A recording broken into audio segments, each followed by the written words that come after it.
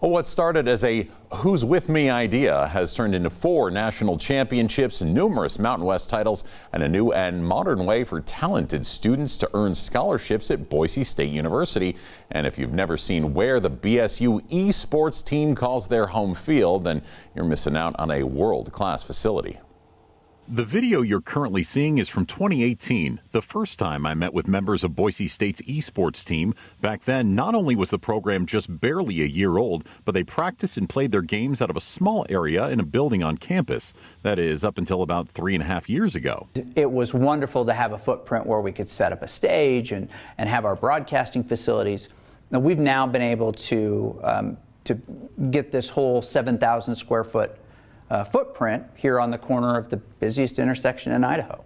If you haven't been in it, you've probably driven past it. Right on the corner of Capitol and Front Street houses BSU Esports world class headquarters where they practice, compete, and dominate. But it wasn't move in ready. In the last three years, we've converted this space into much more of what we need to both recruit well, uh, to host big events because that's also part of recruiting and uh, part of the uh, the way that we make sure the program is funded well. And before you try to imagine what this enormous facility might look like, Coach Haskell was kind enough to give me the full tour, starting with an area I know all too well. So this is our studio set. Right now, it's set up for a, a you know 1v1 competition in Smash because we just did the state tournament. But this will, with um, trussing and lighting and, and backdrops, change into an ESPN style studio, which we intend to have ready for fall. We've got a number of different things we want to do, including just kind of your SportsCenter of, of college esports. Did I mention they certainly know how to win? We joke all the time about our uh, completely subpar trophy case. Um, we, we've had a we've had a, a success problem, um, which is a great problem to have. No one no one would trade it for anything, but.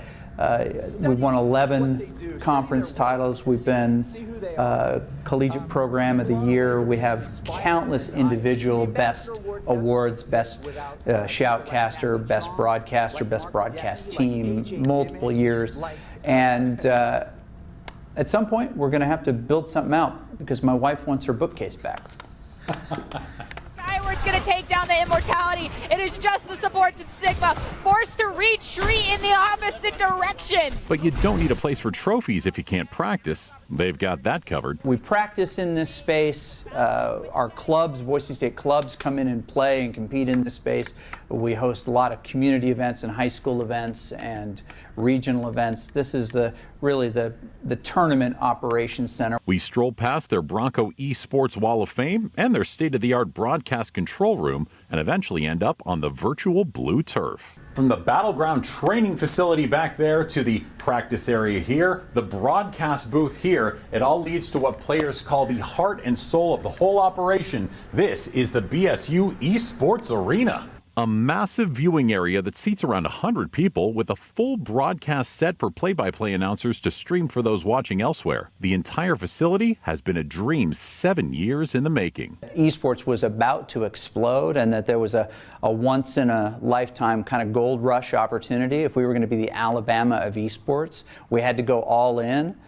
I carried that message uh, all the way through the ranks to the president's office, Kustra at the time. And Dr. Kustra said, yeah, let's, let's do this exactly. And uh, we've been off and running ever since.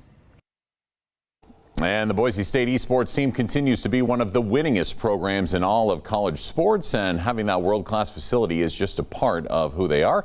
I'll be putting together more stories on their team in the near future, but for now, you can find more information on them in this story on our website, idahonews6.com.